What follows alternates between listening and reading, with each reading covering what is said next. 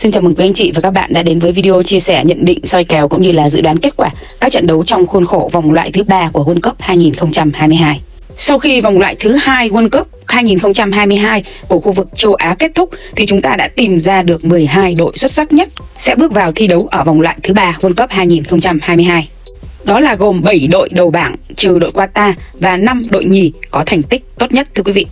Theo phóng viên của VTV.vn thì kết quả bốc thăm vòng loại thứ ba World Cup 2022 khu vực châu Á đã được hoàn thành và đội tuyển Việt Nam của chúng ta nằm ở bảng B cùng với đội tuyển Trung Quốc, Oman, Ả Rập Xê Út, Australia và Nhật Bản thưa quý vị. Ở bên bảng A thì gồm có các đội Iran, Hàn Quốc, UEA, Iraq, Syria và Lebanon. Đội tuyển Việt Nam của chúng ta được xếp ở nhóm hạt giống thấp nhất Tuy nhiên, thầy trò huấn luyện viên Park Hang-seo hoàn toàn có quyền mơ về World Cup tại Qatar nếu xếp ở một trong ba vị trí đầu bảng. Tại vòng loại thứ ba, các đội tuyển sẽ thi đấu vòng tròn hai lượt để tính điểm xếp hạng tại mỗi bảng. Bốn đội nhất nhì ở hai bảng sẽ đi thẳng tới vòng chung kết FIFA World Cup Qatar 2022. Hai đội xếp thứ ba sẽ tranh vé đá play-off với đại diện của một châu lục khác. 10 lượt trận của vòng loại thứ ba sẽ được dự kiến diễn ra vào các ngày 2 tháng 9 năm 2021, 7 tháng 9, 7 tháng 10, 12 tháng 10, 11 tháng 11, 16 tháng 11 năm 2021 và năm 2022 sẽ có 4 ngày đó là 27 tháng 1, 1 tháng 2, 24 tháng 3 và 29 tháng 3 năm 2022.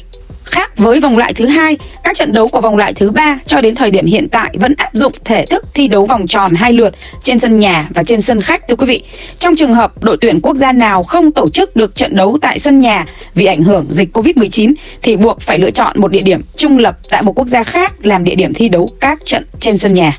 Trên màn hình quý vị đang nhìn thấy đó là cái lịch thi đấu vòng loại thứ ba World Cup 2022 của đội tuyển Việt Nam. Ở vòng loại thứ ba này thì đội tuyển Việt Nam sẽ thi đấu xuyên Tết Nguyên đán nha quý vị. Thầy trò huấn luyện viên Park Hang-seo sẽ gặp Australia vào ngày 25 tháng Chạp và gặp Trung Quốc đúng mùng 1 Tết.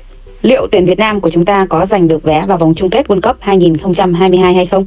Chúng ta hãy cùng đón xem họ thi đấu như thế nào nhé. Còn ở video ngày hôm nay thì xin mời quý vị cùng đến với phần nhận định soi kèo cũng như là dự đoán kết quả của trận đấu đầu tiên của vòng loại thứ ba, đó là đội tuyển Nhật Bản gặp đội tuyển Oman. Trận đấu sẽ được diễn ra vào lúc 17 giờ 10 ngày 2 tháng 9 năm 2021. Theo thể thao 247.vn thì ở lượt trận đầu tiên của bảng B vòng loại 3 World Cup khu vực châu Á, người hâm mộ sẽ được chứng kiến một cặp đấu khá là tranh lệch về mặt đẳng cấp. Đó chính là trận đấu giữa Nhật Bản và Oman. Với thành tích từng tham dự 6 vòng chung kết FIFA World Cup liên tiếp kể từ năm 1998 đến nay và thực lực nhìn từ các giải đấu ở châu lục thì theo thể thao 247.vn thì Nhật Bản chính là ứng cử viên nặng ký nhất cho tấm vé trực tiếp đến Qatar vào năm 2022 ở bảng B thưa quý vị.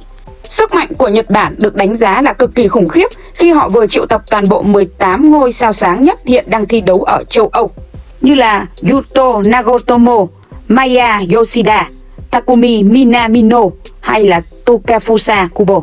Bên cạnh đó, họ có 9 cầu thủ của đội tuyển U23 vừa thi đấu tại Olympic Tokyo cũng đã trở lại để hướng tới một cái mục tiêu là giành 3 điểm đầu tiên khi tiếp Oman tại sân nhà thưa quý vị.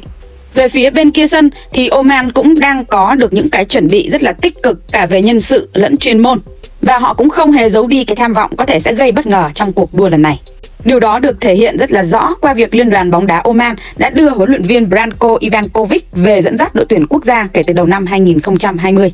Thể thao 247.vn cũng chia sẻ, với kinh nghiệm của nhà cầm quân 67 tuổi với hai lần làm trợ lý huấn luyện viên đội tuyển Croatia dự World Cup năm 1998 và 2002 và một lần đưa Iran dự World Cup 2006.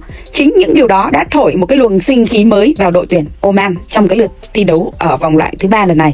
Với kết quả thi đấu giao hữu gần đây của Oman mà quý vị đang nhìn thấy trên màn hình, thì huấn luyện viên Branko Ivankovic đã rất hài lòng với các học trò của mình khi họ có một chuỗi 5 trận thắng liên tiếp để trở thành một cái ẩn số khó lường trong cuộc đua ở bảng B. Về phía đội tuyển Nhật Bản thì theo bóng đá net.vn thì sức mạnh của Samurai Xanh đã được khẳng định ở vòng loại thứ hai với chuỗi 8 trận thắng tuyệt đối.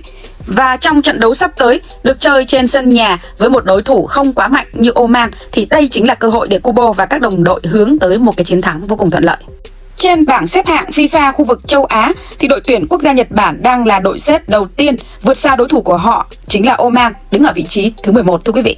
Mặc dù trong thời gian vừa qua, Oman đã có những cái thành tích khá là tốt, tuy nhiên đối thủ của họ gặp ở thời gian qua không thật sự quá mạnh. Chính vì vậy mà bóng đá net.vn chia sẻ vẫn không ít người tỏ ra hoài nghi về thực lực thực sự của đội bóng này. Họ đã thống kê trong 9 lần đối đầu gần nhất của hai đội thì Nhật Bản đã bất bại với 8 trận thắng và một trận hòa. Theo bóng đá net.vn nhận định thì ở trận đấu lần này, Nhật Bản hội tụ đủ thiên thời địa lợi nhân hòa nên sẽ rất khó để đội khách có thể ngăn cản được sức mạnh như vũ bão của đội bóng xứ sở mặt trời mọc. Với tỷ lệ kèo chấp mà nhà cái ấn định là Nhật Bản chấp Oman 2-0 và tỷ lệ kèo tài xỉu là 2 3 phần 4 thì bóng đá net đã thống kê trong 10 lần ra sân gần nhất thì có đến 8 lần đội Nhật Bản đã thắng kèo châu Á. Còn về phía đội khách thì trên phương diện tỷ lệ kèo châu Á Họ không có bất kỳ chiến thắng nào trong 7 trận gần nhất có mở kèo. Họ đã để thua 4 và hòa 3 trận. Về tỷ lệ kèo tài xỉu thì theo bóng đá nét thống kê trong 5 lần ra sân gần nhất của Nhật Bản thì có đến 4 lần nổ kèo tài nha quý vị. Thành tích này chủ yếu đến từ sức tấn công hủy diệt của các Samurai xanh. Ở phía Oman thì theo thống kê họ cũng có tương tự 4 trên 5 trận vừa qua được đẩy lên mức kèo tài, 3 trên 4 trận đối đầu mới nhất giữa hai đội cũng có tối thiểu là 3 bàn trên một trận.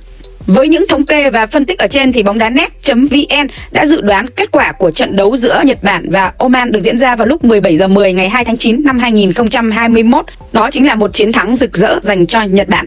Họ dự đoán kết quả của trận đấu là Nhật Bản sẽ chiến thắng Oman với tỷ số 4-0. Và thể thao 247.vn thì dự đoán kết quả của trận đấu là Nhật Bản sẽ chiến thắng Oman với tỷ số 3-0 thưa quý vị.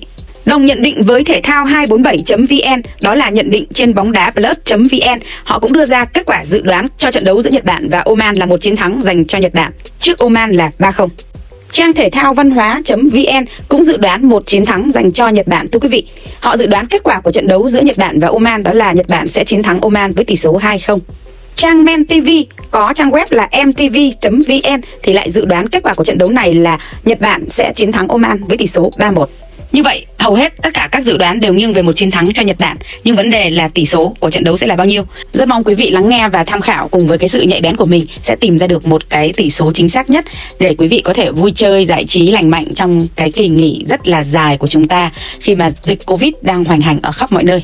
Nhân đây em cũng xin kính chúc quý anh chị và gia đình luôn dồi dào sức khỏe và bình an trong mùa đại dịch. Chúc quý vị xem bóng đá vui vẻ và gặp nhiều may mắn. Xin cảm ơn đã dành thời gian xem video. Xin chào tạm biệt và hẹn gặp lại quý vị ở những clip tiếp theo.